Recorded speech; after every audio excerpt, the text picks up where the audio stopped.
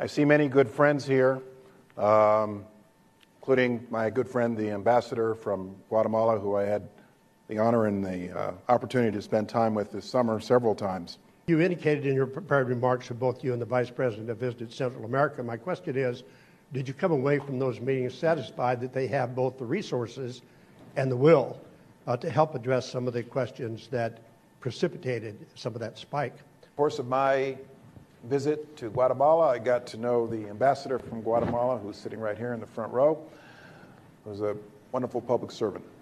I had, I had a good session with his president, both here and in Guatemala. Y bueno, como último punto, me complace presentar al licenciado Felipe Bosch, presidente de Fundesa, quien tiene a cargo las palabras de cierre de esta presentación.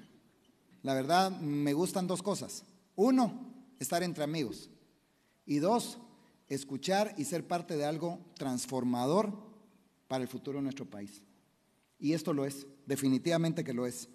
Así es que muchas gracias al canciller Carlos Raúl Morales, a nuestro invitado especial, el embajador Luis Carlos Villegas, el embajador de Estados Unidos, de, Guatemala en Estados Unidos, don Julio Ligorría, muchas gracias. Y tal vez solo para terminar, han agradecido mucho a Fundesa y a CACIF por, este, por esta reunión. Y yo como empecé al principio diciéndoles que me siento realmente en casa con, con el número de amigos que hay acá.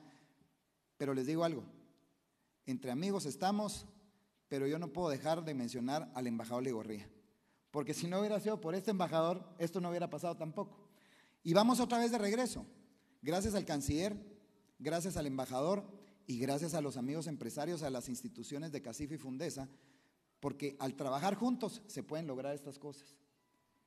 Y qué horrible es, realmente les digo, qué horrible es cuando los empresarios nos sentimos solos y el gobierno trabaja por su lado con sus visiones y sus objetivos y nosotros tenemos que hacer lo nuestro con nuestras visiones y nuestros objetivos. Espero que sigamos trabajando conjuntamente Creo que es la única manera de lograr que avancen los países, ese trabajo conjunto entre empresa y entre gobiernos. Así es que tengan todos un buen día, buenos días a todos y vamos para adelante. Muchas gracias.